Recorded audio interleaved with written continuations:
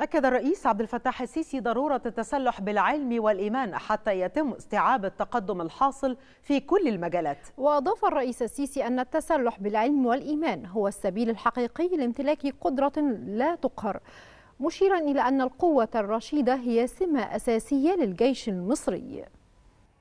مهما كانت قوتك هي قوة رشيدة وده سمة من سمات الجيش في مصر. قوة رشيدة وحكيمة تبني وتصون وتحمي ولا تعتدي يعني.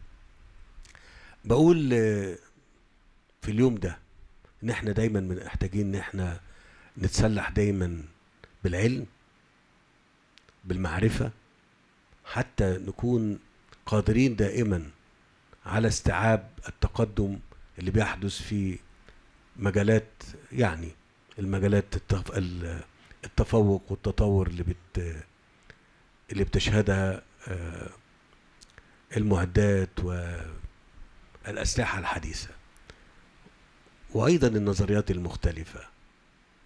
ثم حاجة أخرى مهمة أو إن إحنا نتسلح بيها وهي الإيمان.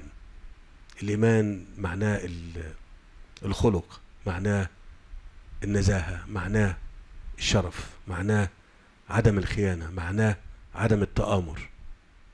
انتبهوا لل... لل... لل... للمحورين دول أو للكلمتين دول. التسلح بالعلم والمعرفة والتسلح بالإيمان هو ده السبيل الحقيقي لامتلاك قدرة قدرة لا تقهر.